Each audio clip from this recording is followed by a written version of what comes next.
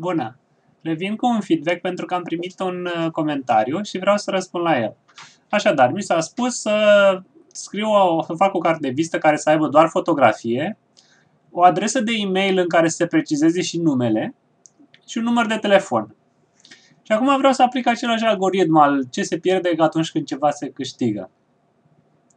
Se, se câștigă pe de o parte o carte de vizită foarte simplă. Ai numele, ai un telefon și un e-mail, ai o fotografie, e ceva foarte simplu. Pe de altă parte, informația este insuficientă. Nu știm funcția. În cazul meu specific al cărții mele de vizită, nu știu cu ce, cu ce se ocupă persoana respectivă. Am doar un număr de telefon.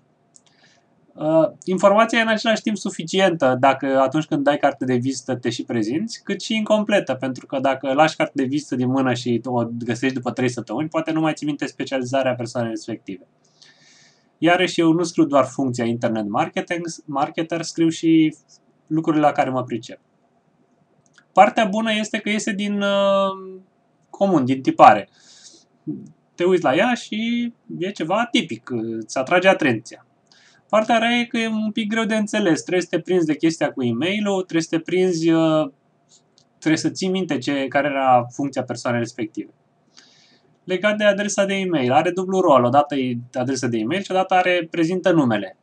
Partea rea e că trebuie să te prinzi de șmecheria asta. Trebuie să înțelegi uh, pe o, mm, acolo un lucru pe care trebuie să te prinzi de el și are o mică chichiță. Per total, uh, e o carte de vizită care, pe care inițial am zis, eram sceptic, cum să-mi placă ceva așa de simplu și care odată ce am pus-o în practică și o văd scrisă, îmi place destul de mult. În continuare rămân la ideea că cartea mea de vizită e destul de ok, dar uh, îi dau o șansă și acestea. Nu, ca un motiv minor, poza mea e mai mare, ceea ce e ok, nu? Am poza mai mare.